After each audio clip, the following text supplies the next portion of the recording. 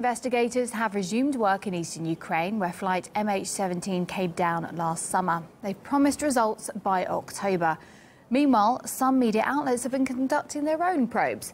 One of the most recent was by Reuters, which talked to witnesses in a nearby village. Here's an extract from the article.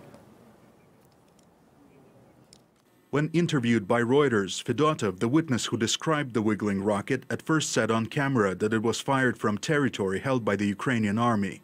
Later, off camera, he said it was launched from a nearby rebel area. Asked why he had originally said the opposite, he said it was because he was afraid of the rebels. Some serious allegations there, on camera reports, off camera banter. RT went to the area to talk in person to the witness from the Reuters article and film everything he has to say. When we found Mr. Fedotov, he was initially reluctant to talk to us. By that time, he had already heard from friends what Reuters had written about him. Eventually, though, I did manage to get some response, and it became abundantly clear why this villager didn't like talking to journalists. Когда за Боинг мы разговаривали, как было, я ему так сказал. А вот это вот без камеры, там всю эту мутату, которую он уже сам придумал, это ложь, потому что я без камеры вообще на эту тему мы не разговаривали. Мы просто разговаривали о жизни. Если статья выходит, как бы хотя бы ознакомил, что... А так без моего согласия даже не, ну, хотя бы наброски там какие-то дал. It turned out that the Reuters correspondent did contact Mr. Fedotov after their interview, but not to talk about the article. Первым, что он спросил, он спросил, нет ли у меня неприятностей. Я был удивлен этим. От чего у меня было, могут быть неприятности, если я такого, как сказать, то, что было, я сказал.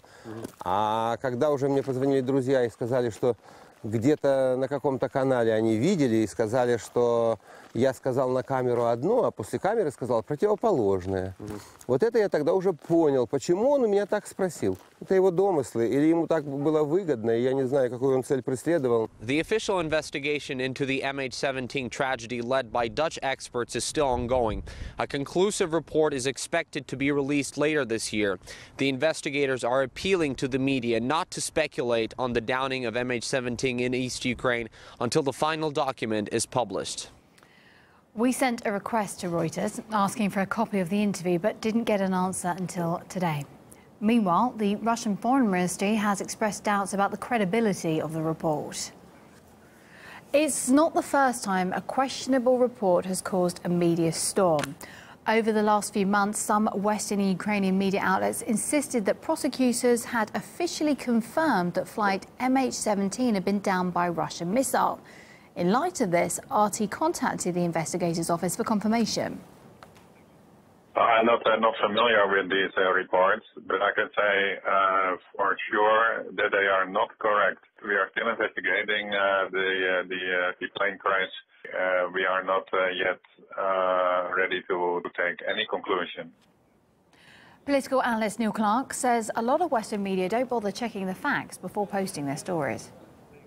We only can think back at the headline of the Rupert Murdoch owned newspaper, The Sun, the day after the tragic MH17 disaster, and the headline was Putin's missile. No evidence at all. It was it was uh, implying that this was a missile that had been personally made and fired by President Putin. That's the kind of low level of uh, reporting, so-called reporting, that's been going on in the Western media. So it's very sad, really. Journalistic standards have slipped to a great a great deal. It's been propaganda instead of facts. And it's facts that we want. You know, we should want to know the, the, full truth about what happened to this plane and who actually, uh, you know, what brought it down. But it seems that a lot of people in the West were only interested in this story as a means of blaming Russia in order to justify more sanctions on Russia. That's their only interest in the story. They're not interested really in finding out what happened.